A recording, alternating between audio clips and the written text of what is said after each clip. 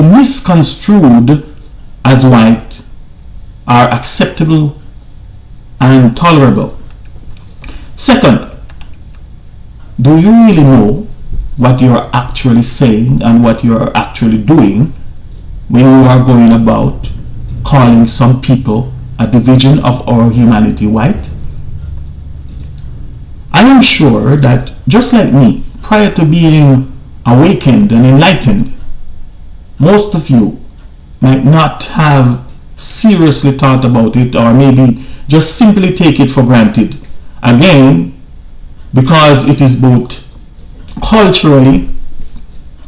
historically, and traditionally inheritable and acceptable. Very few people dare question it. But for your information, when you say that a person is white, or when you call a person or a group of people white, you are actually distinguishing them and bestowing, or if you prefer, conferring on them a name, a status, a title, an honor, a blessing, a vibration, and a compliment that they may not be in any way whatsoever deserving. When you call a person or a group of people white, you are actually and practically verbalizing, pronouncing, and echoing and vibrating words, sounds, and power to them, up on them, and into the cosmos. The proclamation that they are bright and that they are the people that shines and that they bring light and love to you and to the world. When you call a person or a group of people white, you're actually saying, often in ignorance, that they are a person or a people of fairness, a people of love, of justice, uh, of trustworthiness, meaning that they can be trusted, that they are a people of honesty, transparency,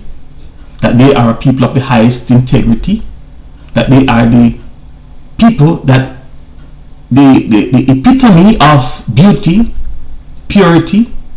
quality, incorruptibility, venerability, and of course that they are a people of superiority. When you call a person or a group of people white, you are actually saying that they are morally pure and perfect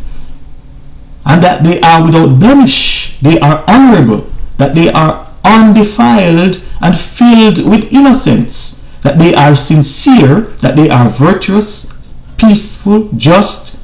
and that they are of royalty and power among all the other great qualities, characteristics, nobility, sanity, and prestige that are the profound attributes of that which I consider, personally consider from my perspective, to be the very sacred, majestic, and awe-inspiring word, white. The word white and its symbol in just about every culture, religion, and tradition that I know mean and represent light and truth along with all the aforementioned attributes. And as such, white is known and considered superior to black or darkness any and every time. In fact, white, the word and its symbol,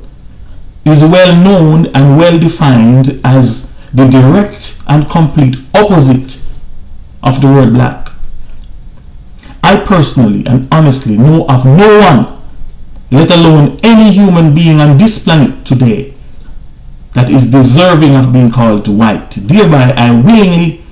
knowingly bestowing or conferring all those great qualities and attributes on them. No, I know of no such one. From my perspective,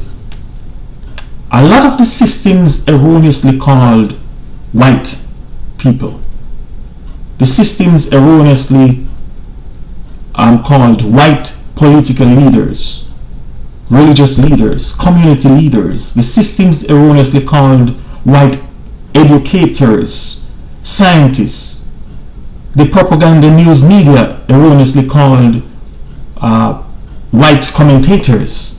and entertainers, etc., who know and are aware of this truth,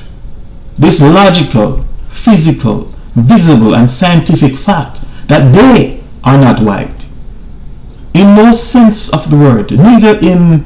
body, skin, complexion, blood in their veins, their character,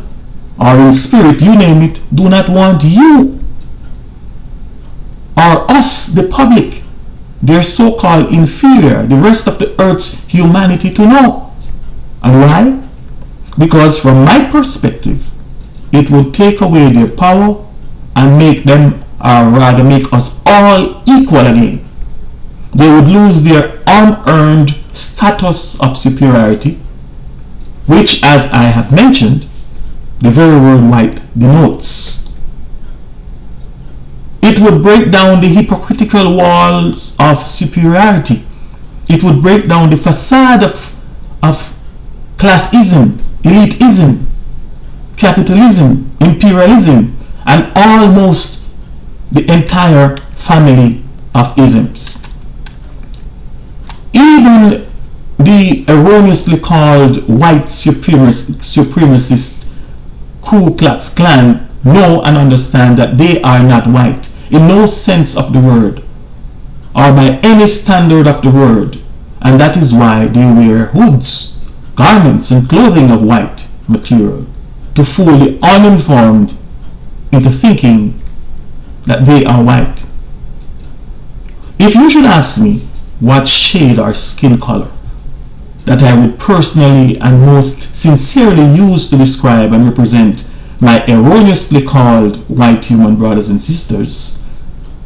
I would tell you in all fairness that from my observation, meaning